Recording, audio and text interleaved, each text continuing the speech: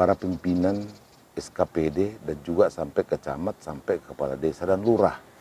Nah di setiap pertemuan itu selalu saya buka contoh-contoh yang akurat yang ada di daerah lain. Dan juga membuka mereka agar bertanggung jawab kepada Tuhan Yang Maha Kuasa. Tentunya melalui ceramah-ceramah pengajian, melalui adat budaya yang sudah merupakan kebanggaan kami masyarakat Mandailing. Itu yang sering saya utarakan, agar mereka itu merasa tersentuh kalbunya.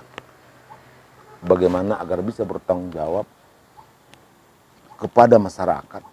Sering saya contohkan, jika saya korupsi misalnya 10 juta, 100 juta, 1 miliar, sama saja dengan yang lainnya. Tentunya harus kita pertanggungjawabkan di hadapan Tuhan. Harus mencari orang mendeling yang jumlahnya 600 ribu jiwa di akhirat. Dengan demikian mungkin sudah jauh beda di Mandailing. Tidak, tidak lagi seperti dulu-dulu.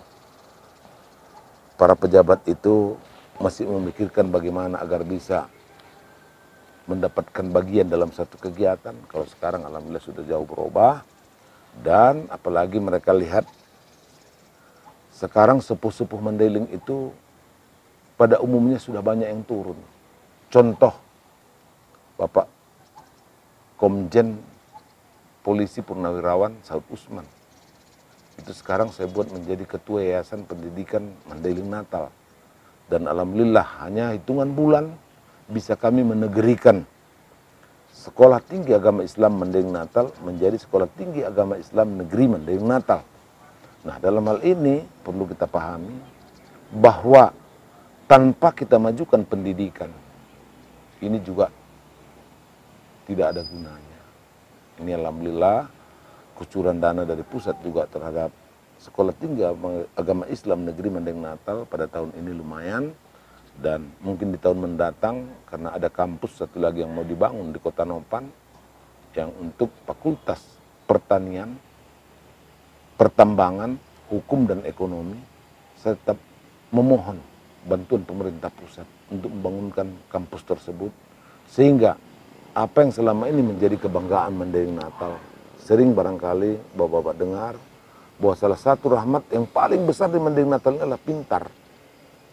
Sebagai contoh, masih swasta dulu, STEM itu, itu apabila menyambung ke S2, S3 di provinsi lain, anak-anak kita itu semuanya cum laude. Padahal masih kami tangani dengan apa adanya. Karena pada saat itu ya kemampuan Pemda lah dari segi keuangannya. Nah demikian juga ada di sini man namanya itu tamat tahun ini 380 orang. 379 itu masuk perguruan tinggi negeri yang tersebar di seluruh Indonesia.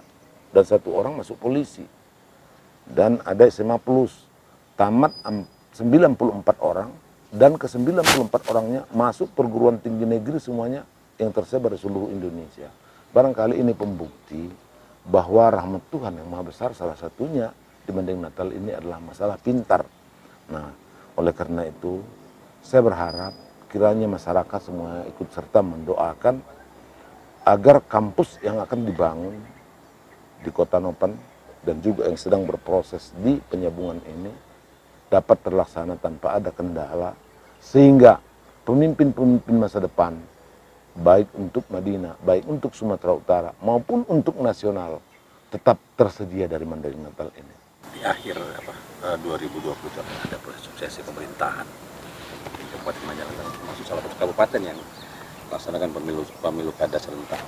Nah harapan Bapak terhadap fondasi-fondasi pembangunan yang sudah Bapak lakukan saat ini itu apa nantinya Pak? Seandainya masyarakat bisa memberikan amanah. Saya sangat berharap karena inilah kunci-kunci barangkali yang berkaitan dengan perekonomian masyarakat. Saya mohon masyarakat semuanya ikut serta memohonkan kepada Yang Maha Kuasa dan mendoakan bahwa Presiden selalu sukses dan sehat serta tidak kendor untuk membantu Mandailing Natal. Dapat bahwa masyarakat Mandailing Natal sebagai salah satu kabupaten yang banyak melahirkan tokoh-tokoh nasional semakin maju sejajar dengan kabupaten kota yang ada lain yang maju juga di Indonesia saat ini. Terima kasih waktunya, Pak Bupati. Terima kasih. Assalamualaikum warahmatullahi wabarakatuh. Pemirsa, demikian bincang-bincang saya dengan Bupati Mandailing Natal Bapak Dalan Hasan Nasution terkait dengan apa pembangunan yang sudah dilakukan dan apa planning-planning beliau ke depannya untuk mensejahterakan masyarakat di Kabupaten Mandailing Natal. Banyak terpaan, banyak kritik, itu bagian daripada proses eh, pendewasaan untuk masyarakat di Kabupaten Mandailing Natal, khususnya pada beliau Bupati Mandailing Natal, untuk lebih kuat untuk kesejahteraan Kabupaten Mandailing Natal. Terima kasih dan sampai jumpa.